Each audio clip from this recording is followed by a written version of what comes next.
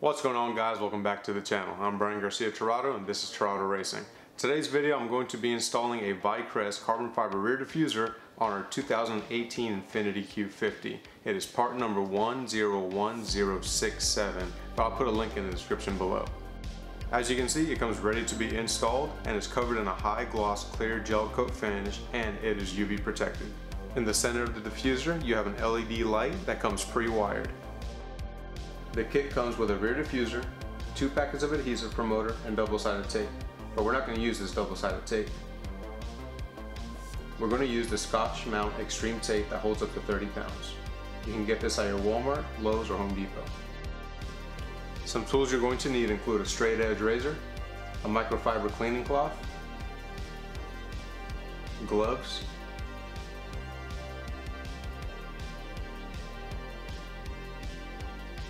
and a heat gun. You're going to need a soldering gun, some extra butane, heat shrink, electrical tape, wire cutters and strippers, a sanding block or sandpaper, some Loctite, and some hardware. Start by sanding the mounting surface on the car. The light scuffs and scratches will allow the double-sided tape to adhere. Once you are done scratching the mounting surface, wipe the area clean. The next step is to wipe the mounting area of the rear diffuser clean. After you have wiped the mounting surface clean, install the double-sided tape.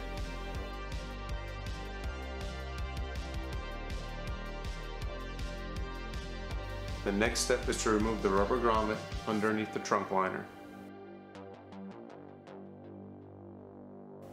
Take the grommet and drill a hole in the middle of it.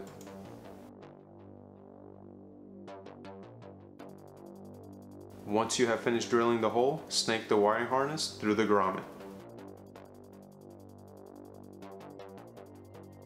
The next step is to peel the backing off the double-sided tape. Next, you'll want to use the adhesive promoter on the bumper of the car.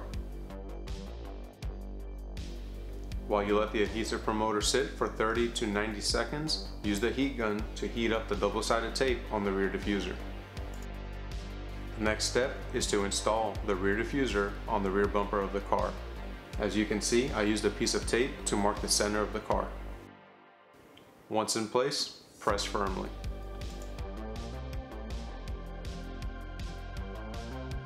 The next step is to drill four holes underneath the rear diffuser and add the hardware. Once you have installed the hardware, apply some Loctite.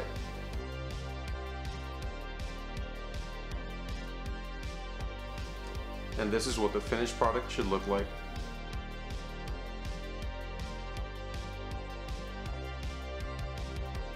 The next step is to feed the wiring harness through the bottom of the car.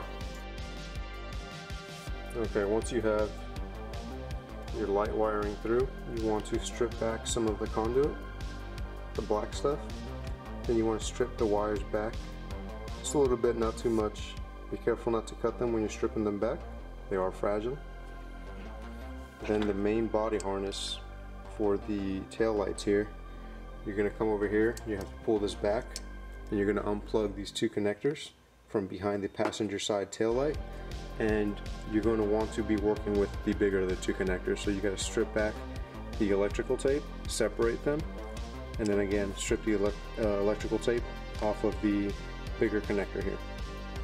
So once you do that, clean up the wires so that, that residue doesn't interfere with your soldering and I will show you how to connect these wires. Okay, so what we're going to do is just like we strip back these wires for the lights, we're going to strip back some of the conduit off of this harness. So the way you're going to want to connect these is black with black, red with red, yellow with this olive green color right here, and nothing with the purple. So I'm to strip these back, solder them together, put some heat shrink on them, and then we're good to go. To strip them back, you're to want yourself some of these wire strippers. You also have a cutter in the middle right up here to cut any excess off. So I have my uh, heat shrink right here, and as you can see they're kind of long, so I usually like to cut them in half as you can see right here I have an example of a previous job I did. So I just take these I cut them down to size and you put them on the wire before you solder anything together.